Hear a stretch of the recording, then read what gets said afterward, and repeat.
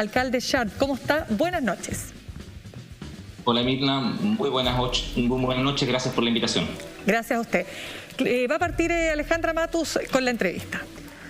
Alcalde Sharp, eh, entiendo que hoy día estuvo reunido con, su base, Territorio en Red, y quería preguntarle si ahí se ha analizado esta idea mm, que aparentemente viene de la lista del pueblo de una potencial candidatura presidencial de su parte.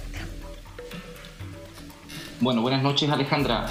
Bueno, eh, eh, hoy día tuvimos un, encuentro, como usted señala, nacional de territorios desde Antofagasta a Puerto Natales y lo que hicimos fue analizar el actual escenario político y efectivamente lo presidencial dentro de ello. Eh, no hubo una proclamación o algo así de alguna persona, porque creo que también, y yo recojo su reflexión en cuanto al análisis que usted hacía de la coyuntura, creo que, efectivamente eh, hoy día hay un fenómeno desde nuestra perspectiva que la élite política no ha terminado de comprender eh, suficientemente, eh, que es la irrupción del mundo independiente.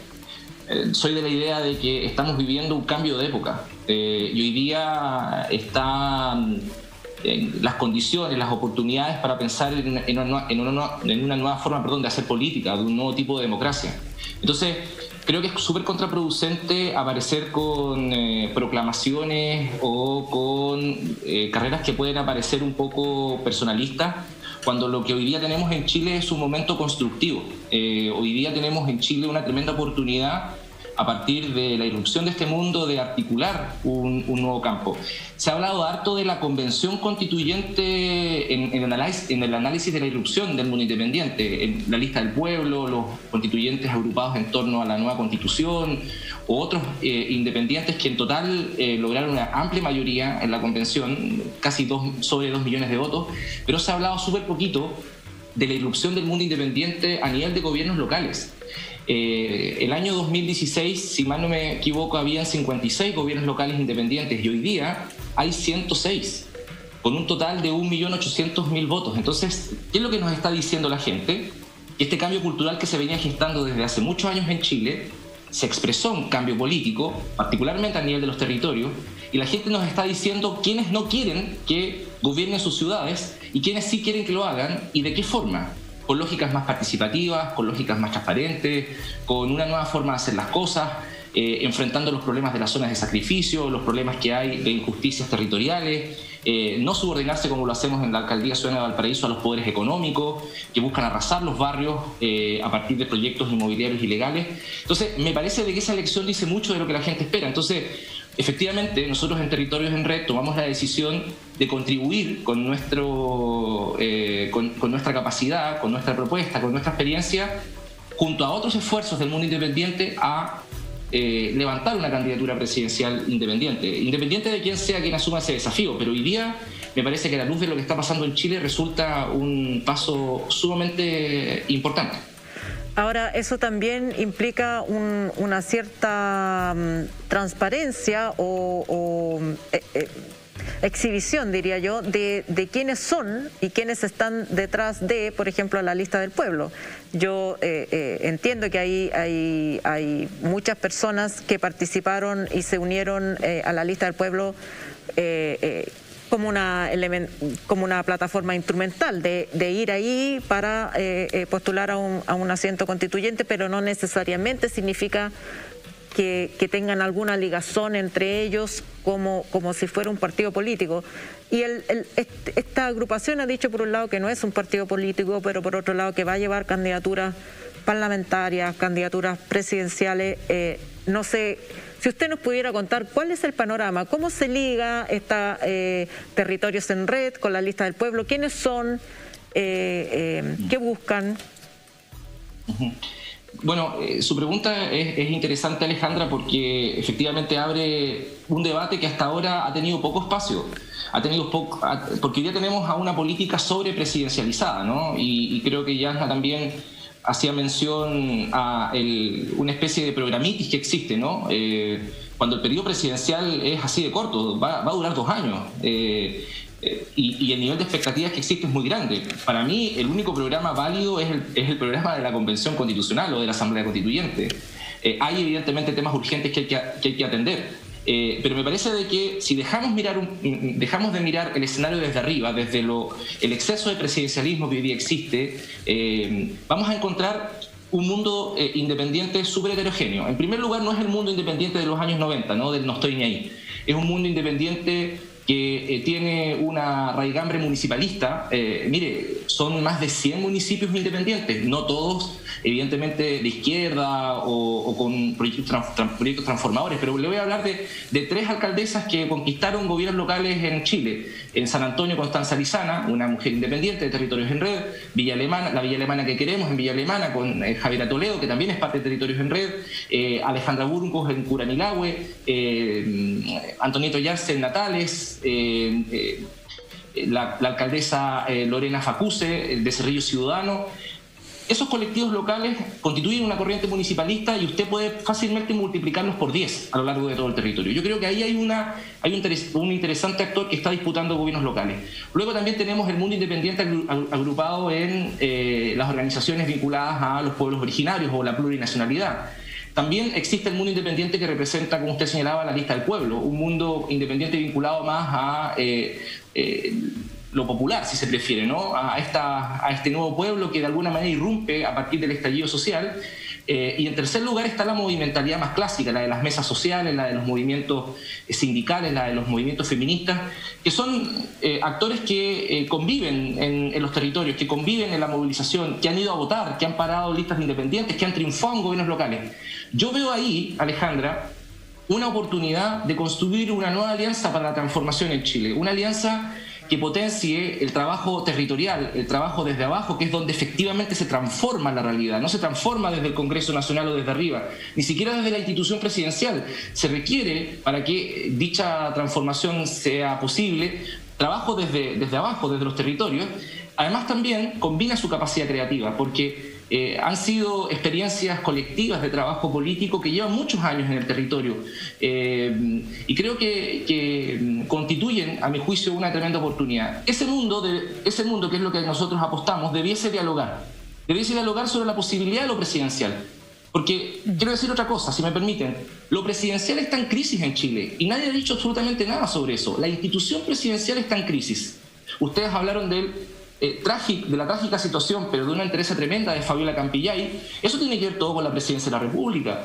En la instalación del neoliberalismo en Chile tiene que ver con la cuestión presidencial y lo que hagamos para adelante también tiene que ver con eso. Entonces, las preguntas que hoy día no están, ¿cuáles son? ¿Qué hacer con la institución presidencial? ¿Qué hacer con ese tremendo poder? ¿Qué hacer en dos años? En dos años, porque la convención constitucional seguramente va a ser una especie de reset, que es lo que esperamos todos. Eh, ¿Qué hacer? ¿Por dónde partir? Eh, no podemos implementar 10, 12, 20 reformas estructurales en dos años. Eh, porque si fallamos, la gente nos va a cobrar. Es lo que nos pasa siempre en los gobiernos locales. Cuando uno falla, la gente te la cobra ¿Alcalde? y deja de votar por ti y fácilmente puede votar por la derecha. Alcalde, pero solamente para dejarlo claro, porque ya vienen elecciones presidenciales. Acá hay varios candidatos que están eh, mostrando además sus propuestas de gobierno, donde también la gente, más allá de todo, quiere verse representada. O sea, quiere que los temas por los cuales eh, se, produjo, ¿no es cierto?, el estallido social en Chile, eh, estén también de alguna forma canalizados, no solo en la Convención Constitucional, sino que también en las propuestas que los presidentes o los distintos candidatos puedan llevar. Yo le quiero solamente recordar que usted el año 2019, el 13 de julio, previo al estallido social, usted dijo, hoy no tengo lo que se requiere para ser presidente. ¿Tiene hoy día lo que se requiere para que usted pueda ser candidato a presidente? No, no creo, sinceramente, ¿No? Mirna. Eh, no, no, porque es que, es que, claro, es que si me lo presenta así, claro, eh, eh, evidentemente tengo 36 años, llevo solamente un periodo en la alcaldía. El, problema que yo quiero plantear eh, no es el de quién asume. Si, usted me pregunta a mí, a mí me gustaría que del mundo independiente eh, que he descrito, ojalá lo liderara una candidatura presidencial de mujer, eh, ojalá de pueblos originarios. Sería un elemento completamente innovador en un escenario presidencial que está bien monótono. ahora, yo tengo, yo tengo coincidencias con lo que ha planteado Daniel y Gabriel en sus programas. Si el problema, a mi juicio, no está puesto ahí. Y usted dice algo que a mí me parece interesante debatir. Usted habla, y que yo comparto, la democracia representativa o la idea de la representación es muy importante, pero tengo la impresión de que este mundo independiente que irrumpe, entre otros factores, creo que demanda más que representación, participación. Protagonismo en la toma de decisiones. El mundo independiente quiere planificar su ciudad. la gente quiere hoy día eh, tomar decisiones sobre las cosas más cotidianas en su vida.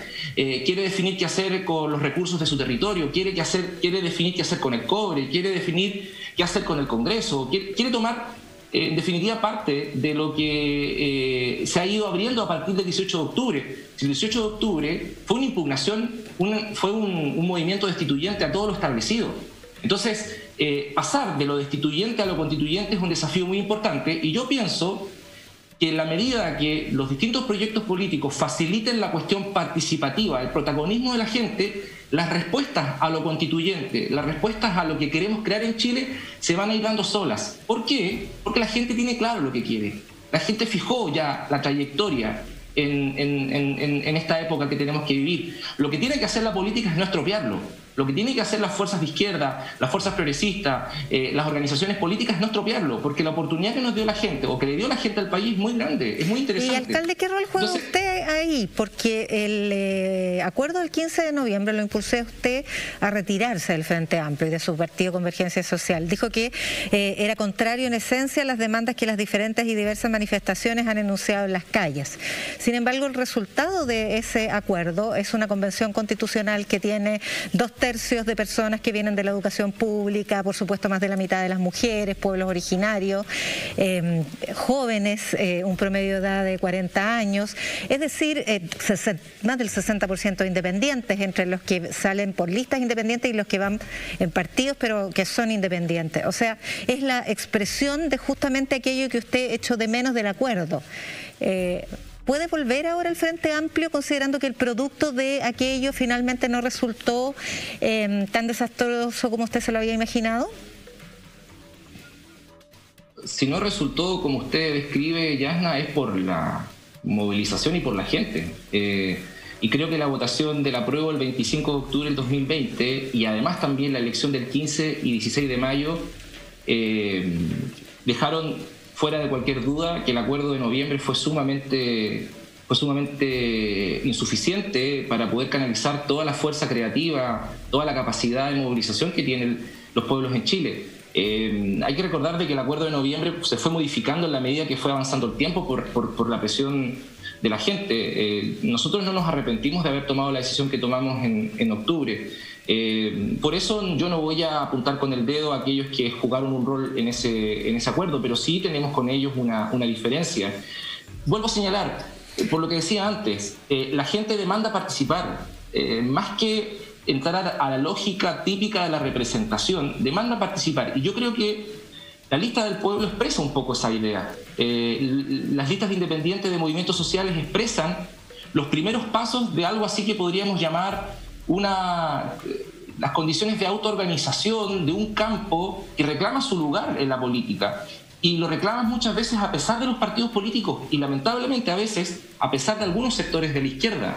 Em, cuando usted ve que a nivel de gobiernos locales hay tantas alcaldesas, hay tantas alcaldías ciudadanas o alcaldías independientes, está viendo los primeros pasos de algo así como un nuevo poder constituyente en los territorios, una nueva posibilidad eh, de, construir un país, eh, un país mejor. Entonces, yo creo que, la oportunidad que tenemos es muy interesante. Eh, y me parece que... Pero ¿por qué usted tiene que estar ahí? Usted se ve ahí, se ve con la lista del pueblo, se ve con estos movimientos independientes. Usted viene de un referente político, tiene una tradición política en eh, movimientos estudiantiles tradicionales. Eh, se fue del Frente Amplio por una situación que nos acaba de explicar. El desenlace es el que acabamos de analizar. Pero usted podría volver a su propia conducta tradicional. ¿Qué lo separa, por ejemplo, del programa de Boric? ¿Leyó el programa de Boric? ¿Cuál es su discrepancia respecto a ese programa? Nosotros incluso antes que se fundara el Frente Amplio Yasna, eh, tuvimos la misma, el mismo comportamiento y la misma estrategia que hoy día estamos planteando, que es, la, eh, es plantearnos eh, la posibilidad de la emergencia de una fuerza política desde lo territorial. Me acuerdo que ese fue uno de los debates que tuvimos en el mundo autonomista, cuando nosotros tomamos la decisión de plantear un camino distinto, señalando que el conflicto estudiantil no era lo único a partir del cual se podía construir una alternativa ese mismo debate lo mantuvimos y lo sostuvimos en el Frente Amplio durante su génesis. Yo fui alcalde, no del Frente Amplio en 2016, fui alcalde de un pacto eh, social y ciudadano político de partidos políticos, pero también de muchos movimientos nacionales y locales. Eh, y fiel a esa, a esa conducta, coherente a ese ideario, es que tomamos la decisión de noviembre y hoy día nos ubicamos en este, en, este campo con esta plataforma que es Territorios en Red.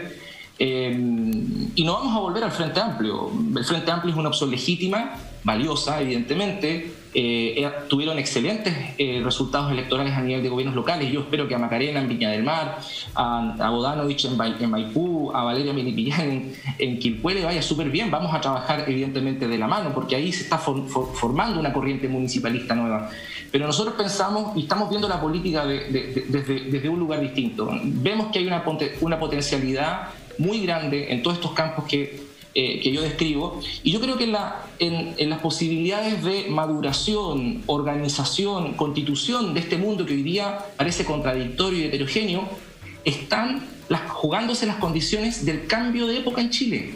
Si este campo independiente, con las características que aquí hemos conversado, no se pega un salto de madurez, no avanza, no sé, muchos pasos adelante, las posibilidades de transformación en Chile se van a ahogar, porque la derecha está al acecho.